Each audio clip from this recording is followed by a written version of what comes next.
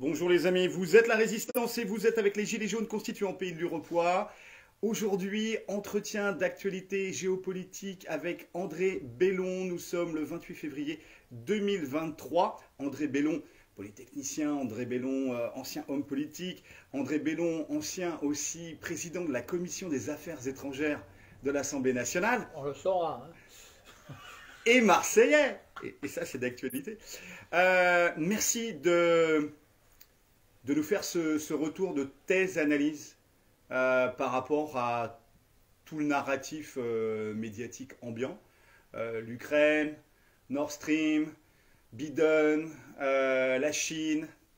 Où est-ce qu'on en est et à quelle sauce on va être mangé? Alors, c'est toujours une question très difficile de parler de certains sujets lorsque on est dans ce qu'on appellera une propagande de guerre. Hein.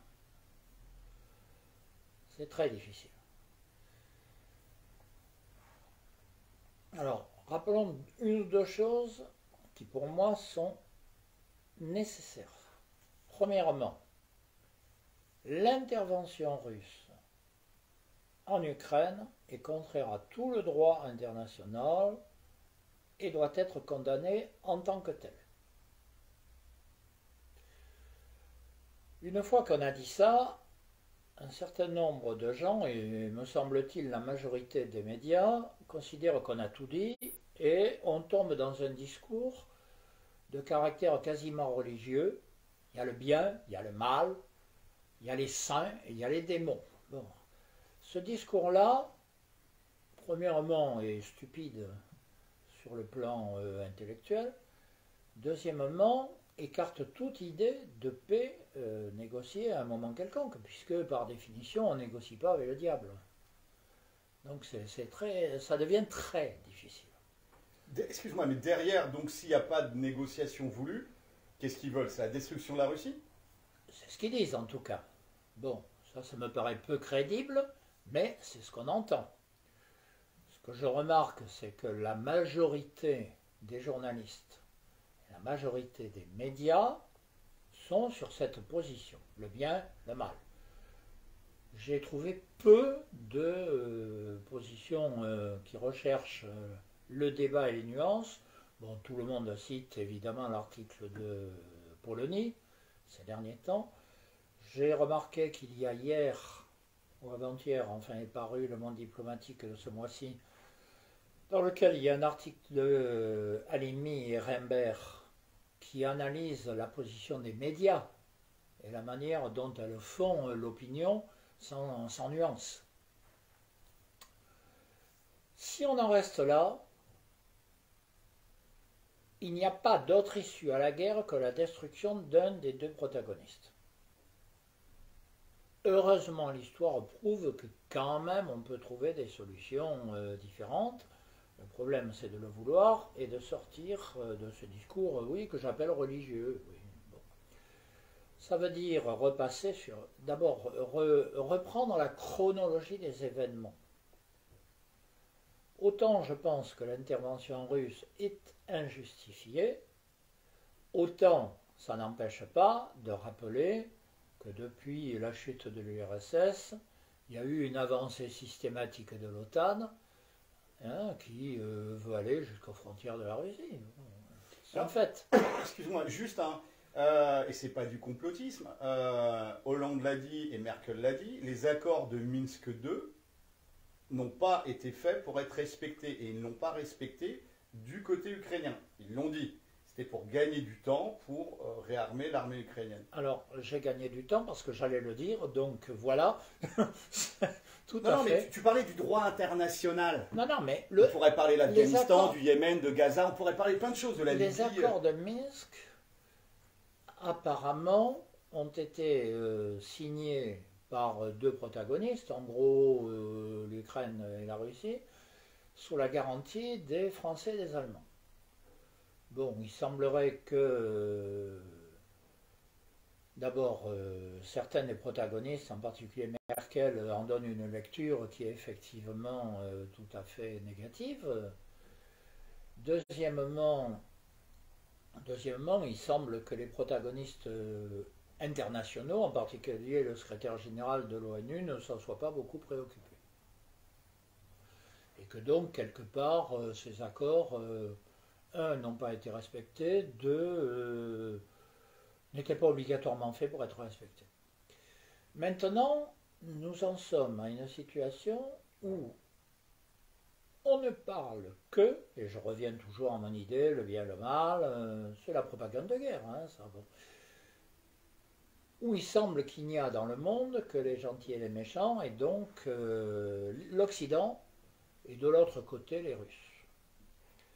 En fait, si on regarde les évolutions à l'ONU en particulier, il se passe des choses tout à fait différentes.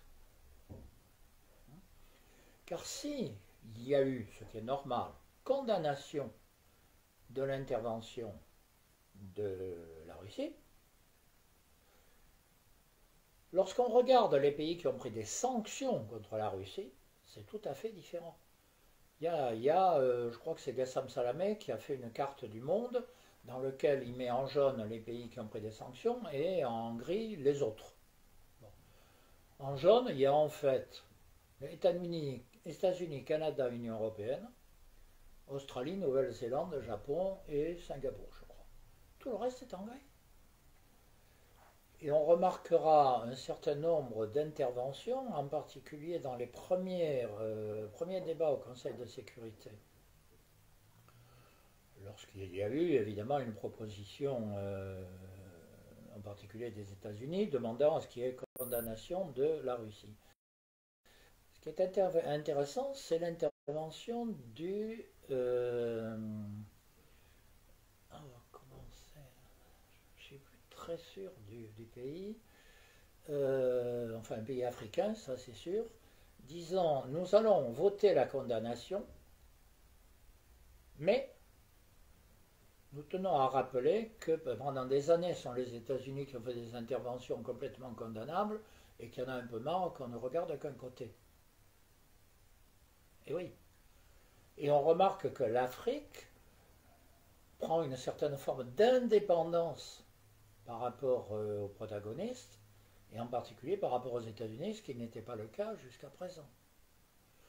On remarquera que dans les pays qui n'ont pas pris les sanctions, il y a même le Mexique, qui est quand même tout à fait à côté des États-Unis. Hein? Donc, euh, je crois qu'il se passe en ce moment quelque chose qui dépasse complètement ce conflit particulier, qui est que le monde se recompose. En particulier la Russie, qui de toute évidence, euh, lorsqu'il y a eu l'éclatement de l'URSS, était dans une tradition qui datait de Pierre le Grand, de se rapprocher de l'Occident. Je crois qu'il y a même eu une demande de participer à l'OTAN à un moment. Est en train de s'en éloigner et de se rapprocher de son sud et de son, et de son est. Donc, le monde est en train de se recomposer au travers de ce conflit. Peut-être qu'il se serait recomposé au travers d'autres conflits. Mais en tout cas, au travers de celui-là, il est évident qu'on sortira avec un monde qui n'est pas celui avec lequel on est rentré. Je crois que l'élément essentiel, il est là au-delà de l'aspect euh, tout à fait condamnable des guerres euh, et des, massacres auxquels ça donne lieu. Oui, ça. Mais.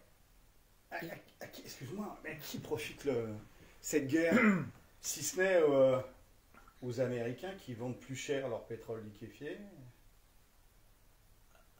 A priori, on peut penser à court terme. Parce que là, il faut regarder à court terme, à long terme. Hein. À court terme, il semble que euh, ça profite effectivement aux États-Unis, qui ont mis la main totalement sur euh, l'Europe, qui ont mis dans l'OTAN des pays qui jusqu'à présent étaient neutres, hein, la, Finlande et la Suède, euh, donc qui ont la main mise sur cet espace, ce qu'ils souhaitent depuis très longtemps. Donc de ce point de vue, c'est tout à fait clair. Est-ce que c'est un problème pérenne? Ça, on n'en sait rien aujourd'hui. Est-ce que c'est ça la nouvelle configuration du monde? Est-ce qu'elle se résume à ça? Je ne pense pas. Parce que parallèlement à ce qui se passe en Europe, il y a ce qui se passe aussi euh, en Chine, dans la mer de Chine, dans l'océan Pacifique. Euh, il y a des tas d'enjeux qui sont sous-jacents et qui tendent à émerger. Ça, c'est trop tôt pour le dire. Mais je pense qu'on a tort de limiter cette guerre à l'aspect très conjoncturel localement et historiquement. C'est quelque chose qui va bien au-delà et personne ne peut dire ce qui va en advenir. On voit bien des tendances en ce moment. Hein. Qui sont? Bah, Par exemple, l'Algérie qui demande à adhérer aux BRICS. C'est pas un détail. On pourrait penser que le bien le mal, euh, bah non, elle ne le pose pas comme ça. L'Afrique, dont je parlais tout à l'heure, qui apparemment ne le pose pas comme ça. Et ainsi de suite. Hein L'Afrique du Sud, c'était, je crois, euh, absolu dans le premier vote. Etc. Donc, euh, c'est ça qu'il faut regarder. Et on a en France, au-delà de la médiocrité de la presse en général, hein, on a euh, une tendance un peu facile à dire maintenant, du moment qu'on est du côté du bien, tout va bien. C'est plus compliqué que ça. Analyser toutes les données. Il y a peu de gens qui le font. Est-ce que l'Occident a eu... Euh, est-ce que c'était de la gonflette finalement? Parce que quand on voit ce que dit le, euh, ministère de, de, la Défense anglaise, qu'ils n'ont dans un conflit de haute intensité que 4 jours de munitions, c'est-à-dire au même ratio d'obus tirés euh, sur le, front de, l'Est ukrainien, la France, l'Angleterre, l'Italie, l'Allemagne en ont pour 4 jours d'obus. Est-ce que euh, finalement, euh, à trop se reposer sous la protection américaine, etc., les coques sont nues Alors tout d'abord, parce que je ne voudrais pas qu'on m'en veuille d'avoir oublié tout à l'heure le nom, c'est le Kenya dont je voulais parler qui est membre du Conseil de sécurité, dont le représentant a fait la déclaration que j'ai évoquée. Rede Césari, question de Césaris, comme on dit vulgairement en français. Euh, euh, bon, sur, sur cette question, très honnêtement,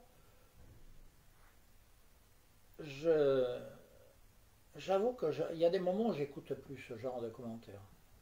Parce que je ne vois pas où est la part de propagande, la part de vérité, la part de, Bon, si tout le monde en a pour 4 jours seulement, comme ça fait un an, euh, il ne devrait plus y avoir rien du tout. Donc, euh, j'en sais rien. Je n'ai pas les éléments. Et je pense qu'il vaudrait mieux euh, ne pas trop rester sur ce genre de débat. Je pense que celui que j'évoquais précédemment est plus intéressant. D'accord, mais la, puissance la russe est quand même une puissance nucléaire.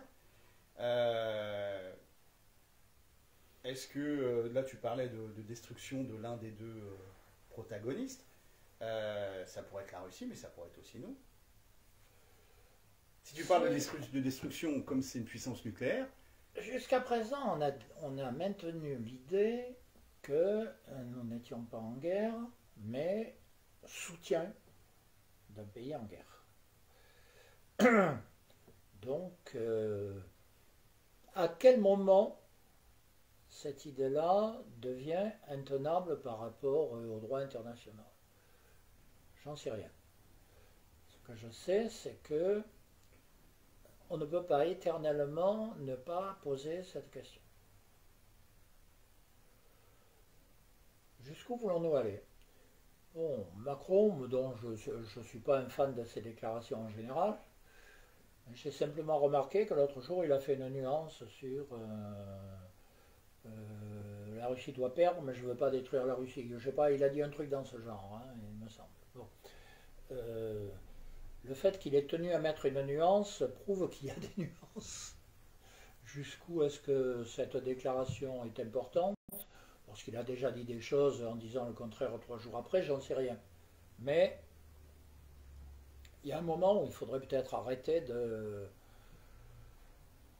d'oublier qu'il y a des nuances dans la vie. Merci de, ce retour. Force et honneur. On ne lâche rien, les amis.